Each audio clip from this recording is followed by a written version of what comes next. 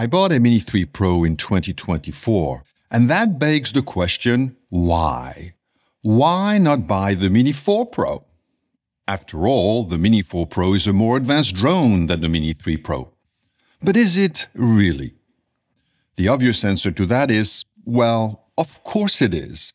It has better video features, it has waypoint capability, the O4 transmission system, and 360 degrees obstacle avoidance. The Mini 3 Pro has none of these. So why buy a Mini 3 Pro in 2024? No, don't! To save a few bucks? No, don't. You see, I believe that the Mini 3 Pro, in one very important way, is a much more capable drone than the Mini 4 Pro. But I know what you're thinking. How can that be? The more I fly my drones, the more I am convinced that drones were meant to fly autonomous missions. And that means being able to plan your flights ahead of time with waypoints. When I discovered that my Mavic 3 Classic could fly waypoint mission, I jumped right into it and I have flown many more waypoint missions than any other type of mission ever since. But the more I became familiar with the DJI Waypoint Planner, the more I became disenchanted with it. I wanted more sophisticated features, like the ability to plan my mission on the large screen of my Mac as opposed to the tiny screen of my RC Pro, or to preview my mission right on my computer screen, or being able to really zoom in on the map for real accurate waypoint positioning, and on and on. The DJI Mission Planner works just fine, but it is very basic. I wanted something much more powerful so I could get the type of shot that I was looking for. And I knew that there is no way that I am the first and only pilot to have ever come to that conclusion. So I figured that there is got to exist solution to my problem out there. Sure enough, I found out that there are third-party mission planning software with companies like DroneLinks, Litchi, Maven, and many others. So I downloaded the DroneLink free trial mission planner to see what it was all about. I immediately fell in love with it, for it gave my waypoint mission a whole new dimension. Moreover, when I tried going back to planning my waypoint mission using the DJI planner, I got so frustrated when compared to using the third party platform that I simply could not use it anymore. It just felt very limited and frustrating. But it didn't matter, for, or so I thought, I had found the perfect setup.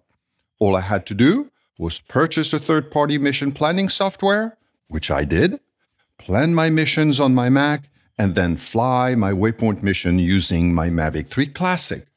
Great Problem solved. Well, not quite. For the Mavic 3 series is unfortunately not compatible with third-party waypoint mission planner. A quick parenthesis on this point, I am focusing here on the DJI prosumer drones, and I am not talking about commercial drones like the enterprise models, which are much more expensive. You see, enterprise models aside, there are very few DJI drones which are compatible with third party mission planners. What I discovered is that all the DJI drones which have waypoint mission planning available natively are not compatible with third parties and vice versa. The DJI drones that do not feature DJI waypoint mission capability are in turn compatible with third party mission planning software. That includes the Mini 3, Mini 3 Pro, the Air 2, and the Mini 2, and that's more or less about it. I was really puzzled by all that. It made no sense to me. Why is it that some DJI drones are compatible with third party mission planners but not others?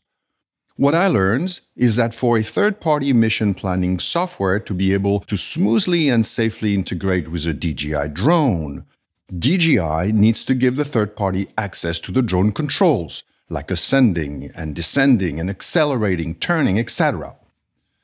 The way DJI is able to do that is by writing what is known as an SDK, which stands for Software Development Kit. Without the SDK, the third party cannot easily communicate with the drone. And so far, at least, DJI has only written SDKs for very few drones, like the Mini 3 Pros, for example.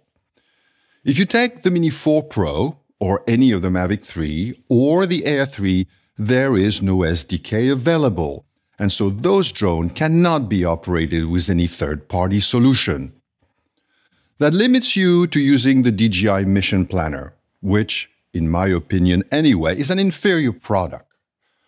For someone like me, who uses a drone primarily to fly waypoint missions, this means that the Mini 3 Pro is actually a much more attractive drone than the Mini 4 Pro. That is why I chose the Mini 3 Pro over the Mini 4 Pro even in 2024.